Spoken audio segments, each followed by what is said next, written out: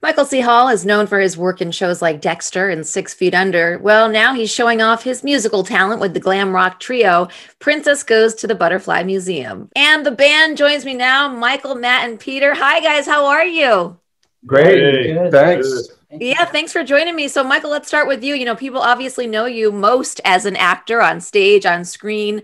You're not new to music, but how does it feel to be kind of entering the music sphere with this band? It feels amazing. I mean, it's like one of the most welcome, unexpected developments of my life like hooking up with these guys and making music in here for the most part. We're in our studio. So how did this whole thing get started? Like how did the how did the band come together? We all played different roles in the hedwig on broadway show. And uh, matt and i actually went on the tour which followed the broadway run. And that was about eight months. And we just were hanging out on the road. And we were like when we get back to the city, let's hang out and make some music. And then we, we started writing all this music and had no vocals. And Mike and I had dinner one night and he came by the studio. I played him some stuff and he wrote some words and sang. And that first song was born and it was just sort of built from there. So it was pretty organic for this band to come Yeah, together. we didn't really set out to be a band. It just kind of happened to us. So, Matt, I understand that Princess Goes to the Butterfly Museum was your daughter's idea. So yes, that that's a that's one version of reality. However,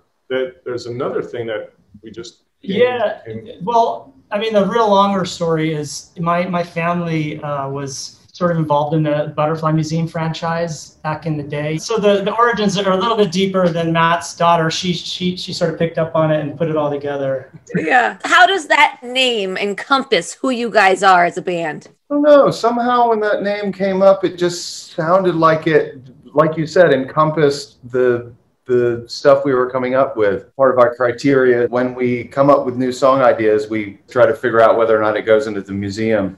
Yeah. And uh, it always manages to fit in there. Yeah, yeah. A lot of things fit in that museum. Let's talk about uh, just kind of what the music sounds like. It's almost like a cool blend of rock and electronic and dance, but how do you guys describe it? We're rock and roll heavy, but then we have a lot of synths, a lot of electronic. You can see it on the back wall over there. But then, you know, we also love campfire sing alongs you know? Well what has it been like over this past year? Like what's the workflow been like? Because i imagine it's pretty hard to kind of create music when everyone's social distancing.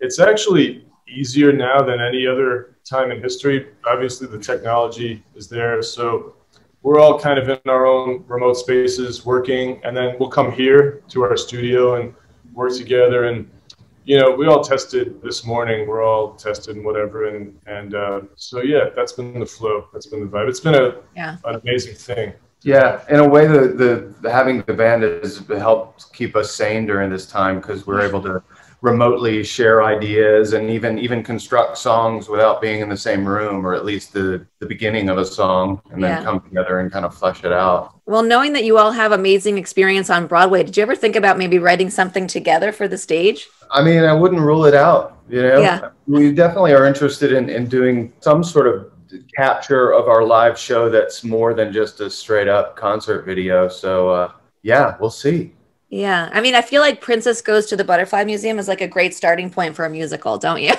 like yeah. The first line. That's central character. Yeah. know where you're headed. There'll be butterflies in it. Somewhere. Yeah. Probably right, some poems. Right. Yeah.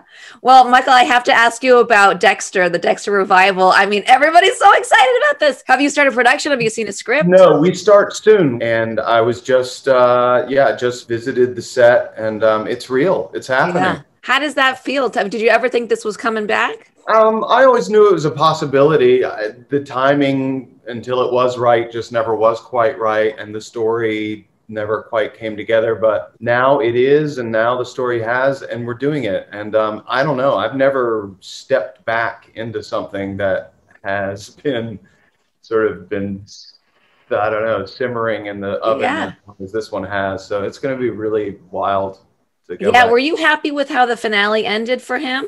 I mean, I thought it made sense, you know, that that he put himself in that situation, but at the same time, I know that it was frustrating, if not deeply unsatisfying for some yeah. people. but you know, that um, maybe whetted people's appetite for something that that's a little more um, conclusive. So yeah. hopefully, we'll be able to provide that. Yeah, well, we all look forward to seeing that again. And just want to let everyone know that Princess Goes to the Butterfly Museum's album, Thanks for Coming, is out on February 12th. Guys, thanks so much for taking the time today. Thank you.